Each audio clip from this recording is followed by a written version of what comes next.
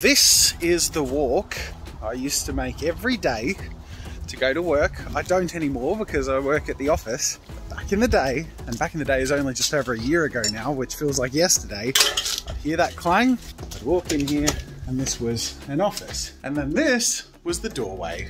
But as you can see, and you might remember, I painted up as the gateway portal to the magical creation room.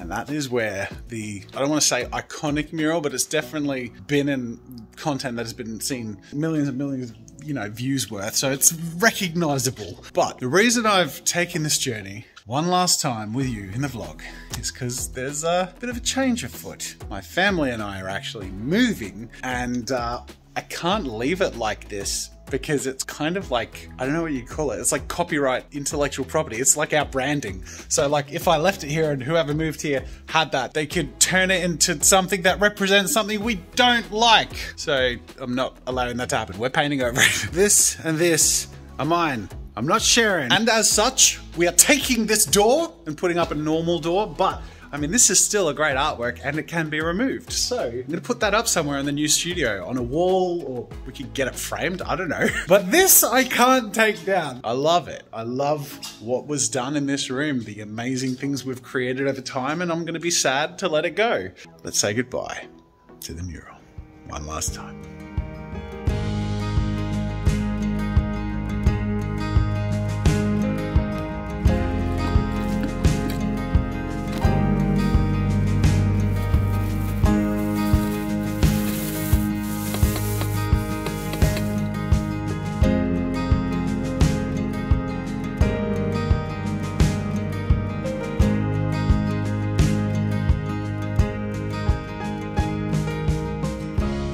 Thought it'd be a really cool opportunity to sort of let everyone share what they remember about filming in that space. I'm interested in where they go. Do they go sentimental? Do they go into some of the more rambunctious moments? Do they go early or late, like as it's wrapping up and we left? But I'll start us off when I think about that mural in particular and that space, I actually think about when it was created. So it was designed by myself and Dean Sunderland, who is a Melbourne-based street artist, very talented, and with both of our input, it was made better as a result. And it was a lot of work, but it was also one of the first major elements of my content and channel, and I guess you could say brand identity that I'd gotten more outside help with, which as a, an artist, I feel a bit guilty about. Like naturally my instinct is to do it all myself and say, I'm an artist, I did this. And I did that with the previous mural. I, I painted all the characters, they all were sentimental to me.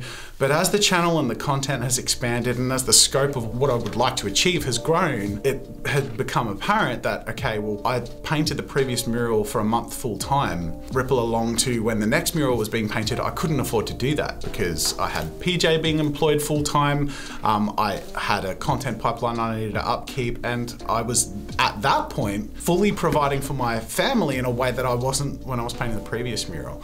So it, it was a required switch in thinking to get more help to achieve bigger things, but it was also a really important lesson that you can do that. You can achieve better things with other people's help. Other people bring incredible insight and skills, and you get a result that more people enjoy for a longer time when you work as a team. And that was one of the first ways that I'd shared the art creation process with someone to make something that lasted. And I'm really proud of that. Okay, so I think now is a really good time to go around and ask people about their memorable stories from the old studio.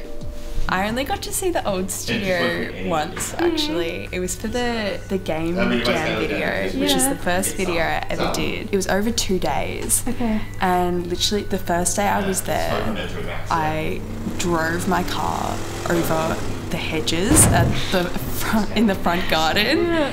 And I was like, oh my god, these people are They're never gonna gonna, want me back. At the time, it was just a one day or two day thing, and I didn't think I'd be working here in the studio like Yeah. on a regular basis. So that's the story of how I destroyed Jazza's garden. But you still got the job. But I still got the job, yeah. Just don't tell Jazza. Yeah. I am still immensely impressed with what we did hmm. in that tiny room. It's been really interesting because we designed this studio at least the layout of things, so that every room had a purpose, every room was for something. Whereas the old studio, everything was done in the same room. Yeah. It's just everything was so modular, so that you'd spend an hour setting up a shoot, and then you'd film, and then you have to spend an hour, an hour and a half packing it down for like every video. Whereas now we're like, oh, we've got a big video, we'll just go to studio two. The mural in particular, I remember the first time I saw it. I remember walking in there and being like, that is a lot bigger than it looks on mm. camera. And then now that it's all packed up and we moved out and the room was completely empty, and I'm like, that is a lot smaller than it looks on camera. I worked in the studio when it was the end of the lifetime of the studio, I guess, with pre-movement. And Table to Time had started back up when we'd started doing mini content. It was really funny working in a studio that was so incredibly cramped, uh, but it was kind of fun too, because like we'd be working on videos and kind of be like, all right, shh, shh, I'm doing some audio now, and like, shh, and Jazza would be sitting at his desk, and it would look so immaculate on YouTube but it was literally like this tiny window of calm in this storm of chaos. If you looked at either way from where the lens was sitting, there was like Rob sitting at a desk setting something up for a stream, Gareth working on equipment, I'm on the mini painting table. It was just so cramped and chaotic. It's kind of fun though. When it comes to the old studio space, I guess nostalgia is just the best word uh, I'd use to describe it because I spent so much time there doing so many different projects. I've actually tried to think of your question in regards to what sticks out to me, and it's hard to give you a proper answer for that because there was a lot done in that space. And now he's just made it awkward because I'm trying to be nostalgic and he's just sort of dancing in the background. I think the nostalgia part is looking back on the fact that it was just Jazza and I at one point running that the production side of things and the fact that it's gotten so large now. It's pretty surreal to look back on that space and everything that was done there. And just walking into that space when I got the job and seeing the mural for the first time was pretty surreal. So mm-hmm. I'm sort of sad to see it go. Actually I don't want to go and check out, out without that mural being there. Mm-hmm. It won't feel right. I guess just all of the really big projects that were kind of too big for that tiny little studio, but he made it work somehow. I remember when he first moved in, the big box fort he made with MJ and the Cybertruck and just all of the really big projects like that. And here we are, making that journey another time. But it's one of the last times because uh, by the time you see this vlog, I'll probably have moved house. So it is time to bid farewell to the place where the uh, the second step in our big journey happened. Our second ever studio that is now a garage. Whoa, that's so weird and different. oh my god, it's just a wall. It's just a wall, just a room in a garage. wow, there you go. This is where it was. And it's under there. But it is officially gone, and we have officially, fully, and entirely moved somewhere else to the next part of the journey. But it was fun to sort of reflect back on, you know, one of the places we came from, and it's served us well. And whoever ends up moving here is going to be very confused about what these are. It's nice to look back and enjoy where we came from, feel a little sentimental about that, but it's also nice to get excited about the future. I'll see you guys in the next video.